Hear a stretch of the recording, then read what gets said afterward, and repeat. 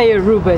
Diharap kawan-kawan di rumah tetap sihat dan cegas macam kami ni kan? Betul tu Eh, awak perasan tak? Sejak kebelakangan ni Masalah sosial makin menjadi-jadi di negara kita Hmm, yelah. Setiap hari je ada je berita pasal ni. Yang pasal dadah tu tak habis-habis lagi. Ada pula masalah yang lain. Apa tu? Mat rempit. Oh yelah, yang bawa motor laju-laju tu Dah banyak dah usaha pihak berkuasa jalankan Tapi diorang ni masih lagi degil Yang paling menakutkan kawan-kawan kita lah yang akan terpengaruh. Habis rosak masa depan mereka nanti. Tapi masih ada cara lagi macam mana kita nak elakkan gejala sosial yang tak sihat ni dari mempengaruhi kita semua. Hmm, semuanya ada dalam segmen kita yang pertama, Hidup Sihat. Jom kita saksikan dulu.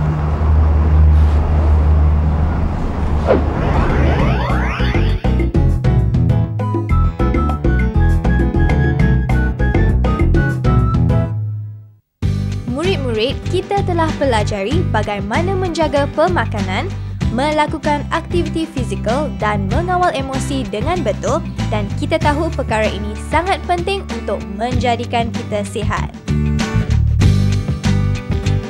Hidup sihat kali ini sekali lagi akan membawa para pelajar mengenali langkah-langkah yang sepatutnya untuk mengelakkan diri kita mendekati gejala yang tidak sihat. Masalah sosial yang terjadi di kalangan masyarakat kita hari ini amat membimbangkan. Kenapa? Kerana masalah ini bukan saja melibatkan orang dewasa, tapi kesannya yang mendatangkan keburukan kepada semua pihak. Terutamanya golongan para pelajar. Pada peringkat usia kamu, kamu lebih terdedah kepada segala aspek pembelajaran, termasuklah pembelajaran yang tidak baik kamu lebih cepat belajar disebabkan sifat ingin tahu dan mahu mencuba sesuatu yang baru. Ditambah pula dengan sesetengah para pelajar yang mengalami tekanan atau masalah dengan keluarga dan sebagainya, kamu akan lebih cepat terdorong untuk melakukan aktiviti-aktiviti negatif ini. Dengan harapan kamu dapat menyelesaikannya dengan cepat dan mudah. Mula-mula kamu berani untuk menghisap rokok, bergaul dengan orang dewasa yang suka melepak sana sini. Kemudian apabila kamu sendiri meningkat dewasa, kamu berani pula untuk mengambil najis dadah, berlumba haram, berjudi dan macam-macam lagi. Ingatlah murid-murid, walau apapun masalah yang kita hadapi, tentu ada cara untuk mengatasinya. Sekaligus kita akan menjauhi gejala buruk ini. Bagaimana? Bukan setakat menjaga kepentingan nutrisi makanan dan bersukan semasa di rumah. Aktiviti di sekolah juga tidak sepatutnya para pelajar lupakan. Selain aktiviti pembelajaran di dalam kelas, aktiviti di luar kelas juga sama pentingnya. Di sekolah terdapat satu aktiviti yang kita panggil co-curriculum. Tentu murid-murid sudah tahu kan apa itu co-curriculum? Bagus, ia adalah unit beruniform seperti Persatuan Pengakap, Kadet Remaja Sekolah, Pandu Putri, Persatuan Bulan Sabit Merah atau PBSM, Putri Islam dan banyak lagi. Yang mana satu pilihan para pelajar? Tak kira apapun pilihan kamu, kamu telah mengambil langkah bijak. Melibatkan diri dalam aktiviti seperti ini sebenarnya amat berkesan untuk membentuk jati diri kamu. Setiap minggu, tentu ada saja acara yang diadakan oleh setiap persatuan. Acara yang paling ditunggu-tunggu tentulah perkemahan tahunan. Pada masa ini, semua unit beruniform akan turut menyertainya. Dengan adanya aktiviti ini, para pelajar dididik agar tahu memanfaatkan masa dengan sebaiknya dan tidak pula membuang masa dengan gejala yang tidak sihat. Murid-murid juga turut didedahkan dengan keburukan budaya negatif seperti pengambilan dadah secara berlebihan dan seumpamanya melalui acara yang diadakan setiap minggu.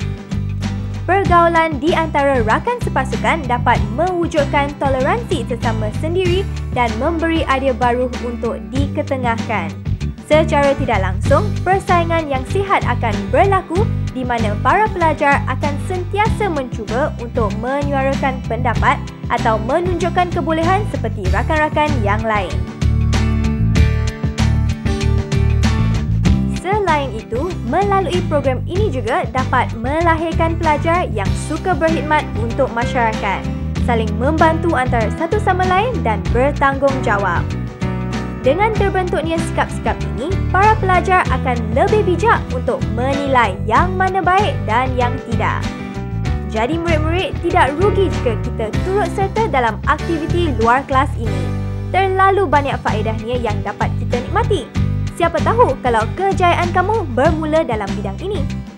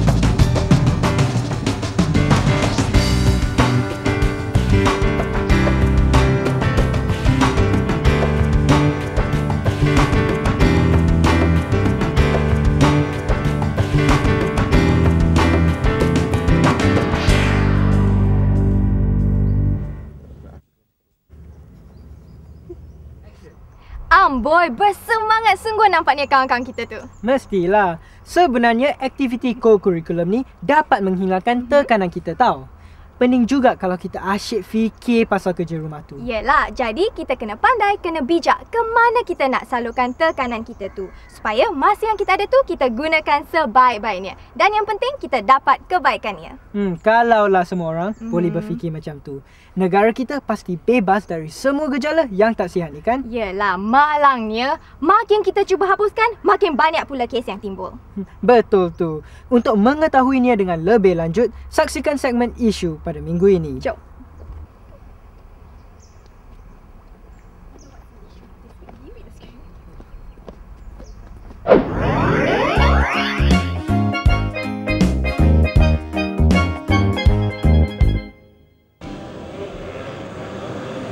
Tengoklah tu murid, cara mereka menunggang motosikal ni amat berbahaya.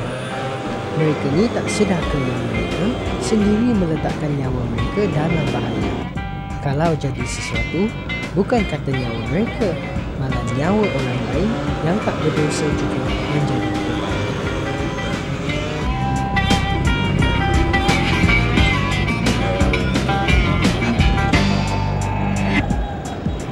Beginilah sikap segelintir golongan anak muda yang tidak bertanggungjawab. Bangga dengan sikap yang memalukan negara menunggang motosikal dengan laju ditambah dengan aksi berani mereka di atas jalan raya. Itu belum termasuk melanggar undang-undang jalan raya lagi seperti melanggar lampu isyarat dan menunggang melebihi had kelajuan yang telah ditetapkan. Bukan lelaki saja yang nak tunjuk lagak, negara kita pun dah ada minah rempit. Semata-mata inginkan perhatian dari semua orang. Si gadis yang semula jadi lemah lembut berani melakukan aksi yang sama seperti Mat Rempit. Malah yang lebih berani pun ada. Sepandai-pandai tupai melompat, akhirnya jatuh ke tanah juga. Operasi yang dijalankan oleh pihak berkuasa akhirnya dapat memaksa mereka untuk menyerah diri. Cubalah murid-murid fikirkan. Jika kali ini pihak polis berjaya menahan beratus mat rempit, berapa ramai lagi yang masih bebas di luar sana? Yang tertangkap hanya baru 1%. Ini lagi kisah yang tidak pernah habis diperkatakan. Dadah.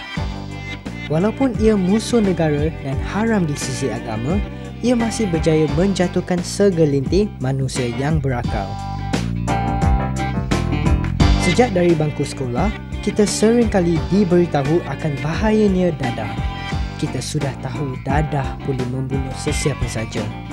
Tapi ada di antara kita yang masih mahu mencubanya dan akhirnya menjadi makanan mereka sehari-hari. Entah apa yang merasuk fikiran mereka sehingga boleh terjerumus ke lembah hina ini. Mungkin disebabkan tekanan emosi yang terlampau. Mungkin disebabkan masalah dengan ahli keluarga dan mungkin kerana pengaruh dari rakan-rakan. Lain pula dengan si pembekalnya, mencari jalan singkat untuk kaya dengan mudah walaupun harus membunuh dengan senjata yang tak bermata ini. Hukuman seberat-beratnya sudah dijatuhkan hingga ke tali gantung padahnya. Namun, mereka tidak peduli. Yang teruk, kita sebagai generasi baru turut sama menerima tempiasnya masa depan entah ke mana, maruah entah ke mana. Dunia hiburan menjadi satu tarikan kepada setiap orang. Selain hobi, ia menjadikan hubungan kekeluargaan bertambah erat dengan menontonnya bersama-sama. Namun, sesetengah masyarakat telah mengambil kesempatan untuk memasakkannya dengan cara haram. Cetak rompak sehingga kini masih lagi berleluasa. Mungkin para pelajar pernah mengalami situasi ini. Melihat para peniaga menjual CD cetak rompak di pasar malam secara terbuka dan ramai pula yang tanpa segan silu menjual CD lucah di hadapan orang ramai. Atau ketika murid-murid sedang menjamu selera di kedai bersama keluarga, datang beberapa orang menjual CD dari meja ke meja.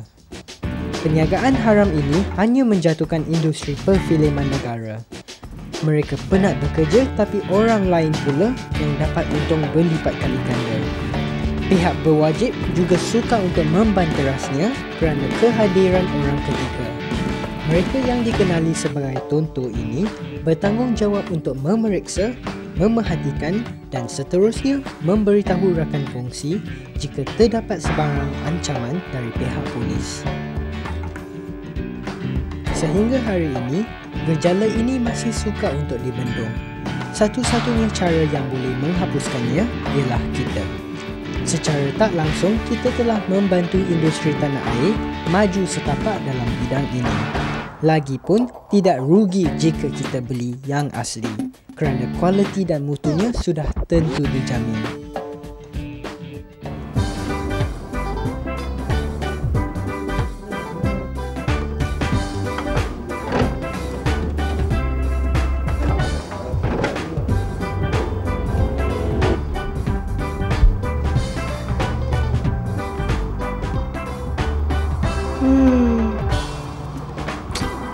Asal rosak kat ni?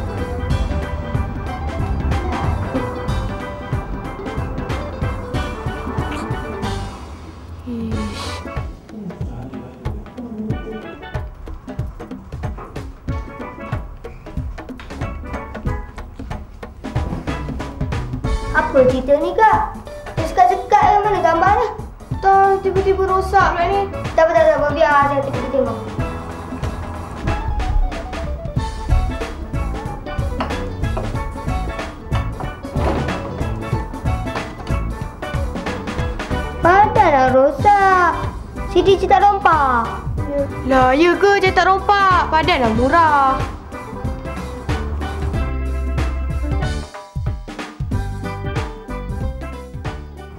Macam-macam kawan-kawan kita ni ya. Nak jimat duit, beli je yang murah. Dah balik rumah, tengok-tengok rosak. Siapa yang rugi? Nah, mereka dan keluarga mereka.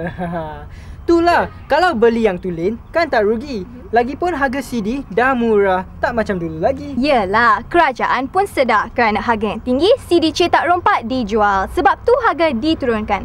Tapi masih ada lagi yang mahu beli barangan yang bermutu tu, entahlah. Eh, kita masih ada satu lagi segmen yang kawan-kawan belum tonton kan? Oh ya, yeah. apa yang menaik dalam segmen Scenario minggu ini ya? Ha, kalau kawan-kawan nak tahu, jom kita saksikan dulu.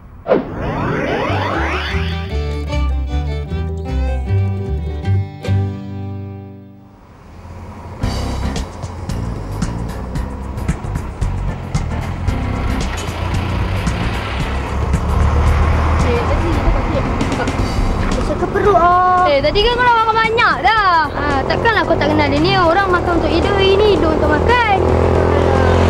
Apa betul? Kejut aku. Apalah orang ni? betul. Apalah nak makan je tahu. Bunyi motor pun nak takut.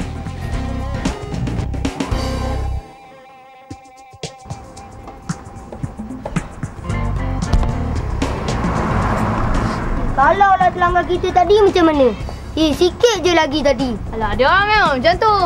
Dekat jalan yang kecil pun nak merempit. Alah, pandailah dia orang nak jaga diri sendiri. Bukan takat jaga diri sendiri je Nazrul, tapi jaga keselamatan orang lain juga. Kau cakap macam tu pun sebab kau bawa basikal laju macam dia orang enggak. Laju sampai nak tercabut tayar. Kau tak takut ke patah kaki ke, patah tangan ke, patah tengkuk ke? Kau tak takut? Ih, tak naklah aku jadi macam tu. Aku dah lah belum habis sekolah lagi. Dah patah riuk macam tu. Kesian mak ayah aku. Tak dapat nak tengok aku kerja bagus-bagus. Alah, aku bukan apa. Aku cuma nak cuba je. Itulah kau ni. Sebab sikap kau tu lah nanti kau jadi orang tak berguna. Tahu tak? Kalau nak cuba benda yang berfaedah tu, tak apalah juga. Ha, kalau nak lumba sangat, pergilah masuk kelab-kelab motor tu. Boleh lumba sepuas hati. Kalau menang dapat hadiah. Kalau jatuh dapat insurans. Oh iya ke? Aku tak tahu pula ada kelab untuk budak-budak yang minat motor. Itulah kau. Tak nak selidik dulu. Kalau macam tu, nanti aku nak ayah aku pergi daftar nama lah. Mana tahu aku boleh tunjukkan bakat semula jadi aku ni pada dunia. Rasalah tu. Kalau menang, hadiah jangan lupa kongsi ya. Kita orang dah bagi khidmat kongsi ni. Ah, banyak cantik aku orang. Ah. Alah, jom balik, jom. Ah, jom balik.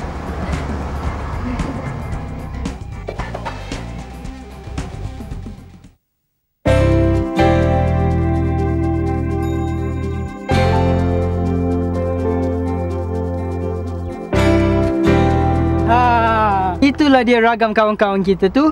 Macam itulah berkawan. Saling ingat mengingati, saling nasihat menasihati. Betul cakap Dr. Ruben. Sebenarnya memang wujud persatuan atau kelab yang menganjurkan aktiviti macam tu. Hmm, semua tu usaha negara kita untuk mendidik rakyatnya menjadi orang yang berguna. Banyak lagi yang kita nak buatkan ni kawan-kawan. Tapi kami tak mempunyai waktu yang mencukupi. Jangan risau, kita akan berjumpa lagi pada minggu hadapan dengan topik yang lebih menarik lagi. Jumpa lagi. Bye.